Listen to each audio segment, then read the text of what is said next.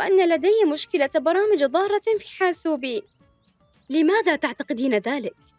بطارية الحاسوب المحمول تنفذ بسرعة أكبر من المعتاد ودائما تظهر لي إعلانات غير مناسبة في جميع المواقع التي أدخل إليها ما المشكلة يا فتيات؟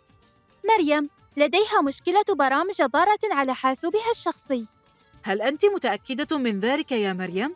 نعم يا معلمتي أصبح أداء الحاسوب بطيئا جدا ويتعطل باستمرار. وغالبا ما أجد لدي صفحات ويب لم أقم بزيارتها أبدا. هذا يستدعي حلاً سريعاً للمشكلة. تحتاجين إلى استشارة مختص في تكنولوجيا المعلومات. ويتعين عليك اتخاذ الخطوات التالية في حال الاشتباه بوجود البرامج الضارة. ما هي هذه الخطوات؟ في هذه الحالة علينا التوقف عن القيام بالتسوق الإلكتروني واستخدام الخدمات المصرفية على الحاسوب والامتناع عن أي أنشطة أخرى تتطلب استخدام كلمات المرور أو غيرها من المعلومات الحساسة.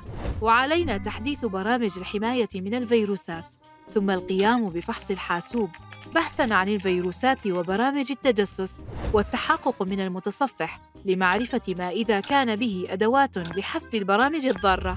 وبالتأكيد علينا الاستعانة بالدعم الفني من خلال التواصل مع الشركة المصنعة. السلام عليكم ورحمة الله وبركاته.